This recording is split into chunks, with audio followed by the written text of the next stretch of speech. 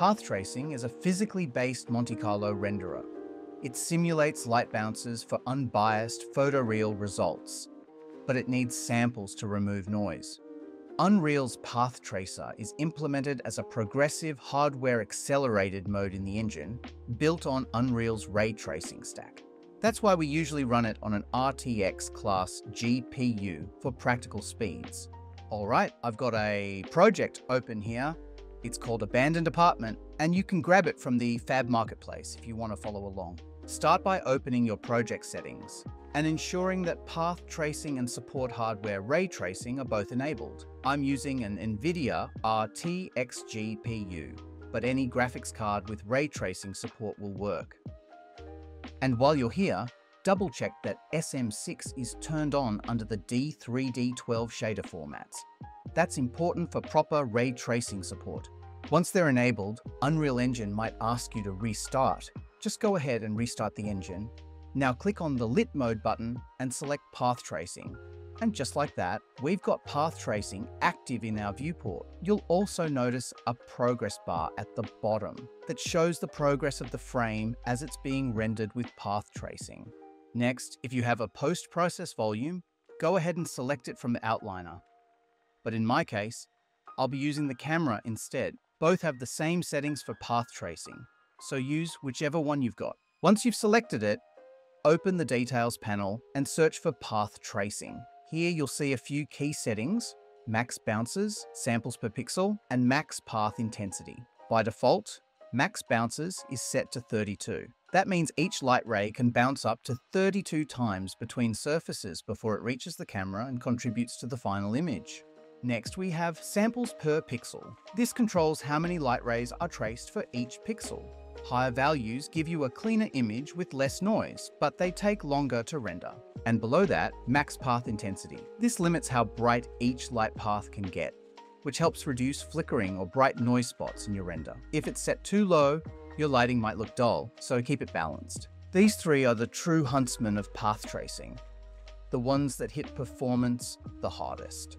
So, we always need to find the right balance for these values, whether it's for a game, or a cinematic. Otherwise, it'll kill your machine before the render even finishes. If I want the scene to load faster, I usually lower these settings.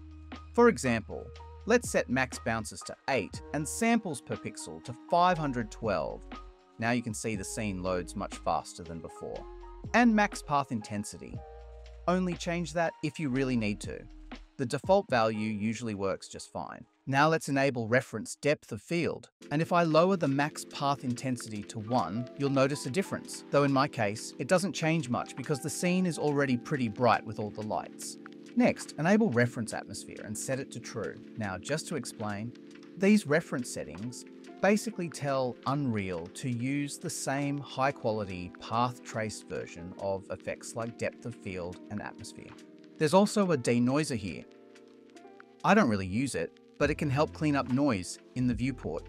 And sometimes it can even hurt your performance and the results aren't that great. So I'd suggest not using it. Alright, now that we've covered these settings, let's move on to the rendering part. First, open the Movie Render Queue. If it's not enabled, just go to Plugins and search for Movie Render Queue to turn it on. Also turn on Movie Render Queue DLSS support if you've got an NVIDIA card. For AMD users, enable FSR and give the engine a quick restart. If the DLSS plugin doesn't show up for you, I already have a full installation guide on my channel. I'll leave the video link in the description so you can check it out and learn how to install it. And sadly, I don't have an AMD card, so I can't make a video on that unless AMD decides to sponsor me a high-end PC like Nvidia did. Nvidia didn't. But hey, there's always a first time for a company to sponsor a good YouTuber. Anyway, let's open the movie Render Queue. Here, click on Unsaved Config. Then go ahead and delete the JPG sequence and deferred rendering options. Now click on the plus button and add a PNG sequence. Next, add DLSS and set the performance mode to quality. And let's also add anti-aliasing. And don't forget the most important one, Path Tracer. You can also add high resolution and game overrides. I'm removing game overrides here but you can keep it enabled if your game displays UI elements or loading screens that you don't want to capture. It also makes sure your render uses cinematic quality textures. Now let's set the sample count for our render.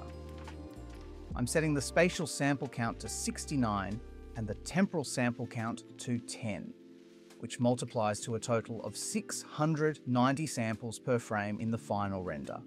Next, enable Override Anti-Aliasing. Also, turn on Use Camera Cut for warm-up and render warm-up frames, and set that value to 256. Now for the output, choose any location you want. Just make sure it has enough storage space. Set the output resolution based on your needs, but keep in mind, the higher the resolution, the slower the render. Now click Accept, and you're ready to start the render. Once it begins, each frame should take around 1 to 2 minutes to render. Now let's say some of you don't have access to DLSS or FSR. In that case, first remove the DLSS setting. Then go to anti-aliasing and set the spatial sample count to 159.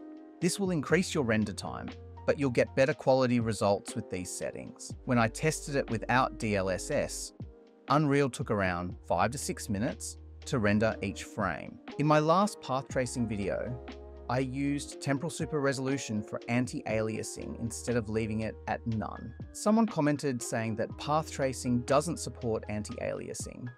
And yeah, technically it's meant for real-time rendering. But TSR actually makes path tracing renders faster and cleaner. Even though it was originally designed for games. Path tracing is an offline rendering method, but if something works, why not take advantage of it instead of blaming me for using what they didn't think of trying? And guys, Copying my sample count can help you get started, but every scene reacts differently. So always experiment with your values until you find what looks best. Next, I'm planning to make a video on NVIDIA's real-time path tracing. Let me know if you're interested in seeing real-time path tracing in action.